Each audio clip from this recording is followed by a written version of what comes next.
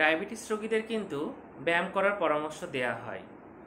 এর কারণ কিন্তু ডায়াবেটিস রোগীরা ব্যায়াম করলে শুধু যে ডায়াবেটিসের উপকার হয়, আসলে বিষয়টা এরকম না। আরও কিন্তু নানা বিষয় আছে, সেগুলোরও কিন্তু উপকার হয়। অর্থাৎ ডায়াবেটিসের রোগীরা যদি ব্যায়াম করে, তাহলে ডায়াবেটিসের পাশাপাশি আরও বেশ কিছু জিনিসের উপকার হয়। যেমন বলা হয়ে থাকে যে, ডায়াবেটিসের রোগীরা যদি ব্যায়াম করে, তাহলে তার যে ইনসুলিন যে সেন্সিটিভিটি, অর্থাৎ ইনসুলিনের কাজ কিন্তু বেড়ে যায়। এবং ইনসুলিনের কাজ বেড়ে গেলে কিন্তু শরীরের জন্য ডায়াবেটিস মোকাবেলা করতে বেশ সুবিধা হয়। এছাড়া আমাদের যে হার্টের বা স্ট্রোকের যে রিস্ক থাকে হার্ট অ্যাটাক বা স্ট্রোকের রিস্ক ব্যায়াম করলে কিন্তু সেটা কমে যায়। ডায়াবেটিস রোগীদের আমরা জানি যে হার্ট অ্যাটাক বা স্ট্রোক করার ঝুঁকি থাকে ব্যায়াম করলে কিন্তু সেই ঝুঁকিটাও কমে যায়। এছাড়া ডায়াবেটিসের রোগীদের রক্তে চর্বির বিভিন্ন রকম সমস্যা দেখা যায়, অর্থাৎ রক্তে চর্বি কিন্তু বেড়ে যায়।